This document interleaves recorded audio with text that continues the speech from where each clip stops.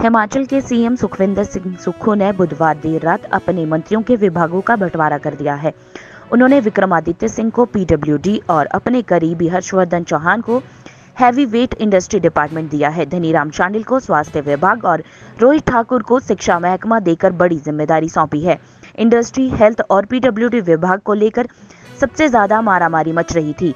इसमें विक्रमादित्य सिंह अपनी पसंद का पीडब्ल्यूडी महकमा लेने में कामयाब रहे हैं।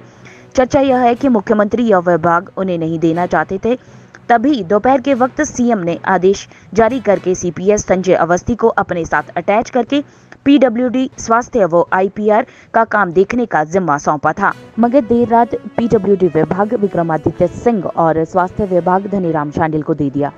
स्वास्थ्य विभाग के अलावा धनीराम शांडिल, सामाजिक न्याय एवं अधिकारिता विभाग और लेबर एंड एम्प्लॉयमेंट भी देखेंगे। सुखू के करीबी माने जाने वाले हर्षवर्धन चौहान को इंडस्ट्री डिपार्टमेंट के अलावा पार्लियामेंट्री अफेयर व आयुष्मान का जिम्मा सौंपा है। राज्य में सबसे ज़्यादा करीब सवा एक लाख कर्मचारियों वाला शिक्षा विभाग भी महत्वपूर्ण है, जिसका जिम्मा सुखविंदर सिंह ने रोहित ठाकुर को सौंपा है। उच्च व तकनीकी शिक्षा के साथ वो वोकेशनल एजुकेशन भी देखेंगे। सरकार के दूसरे सबसे वरिष्ठ मंत्री चंद्र कुमार को कृषि और पशुपालन विभाग दिया गया है। वहीं जगत सिंह नेगी को राजस्व बागवानी और जनजातीय विकास विभाग दिया गया है। कुसुमटी के विधायक व मंत्री अनिरुद्ध सिंह को पंचायती राज एवं ग्रामीण विकास विभाग दिया गया है। विक्रमादित्य सिंह को पीडब्ल्यूडी के अलावा यूथ सर्विस और खेल विभाग का जिम्मा सौंपा है।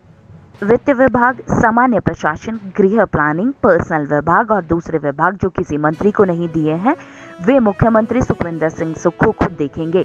डिप्टी सीएम मुकेश अग्निहोत्री को जल शक्ति विभाग, ट्रांसपोर्ट और भाषा, कला एवं संस्कृति विभाग दिया गया है।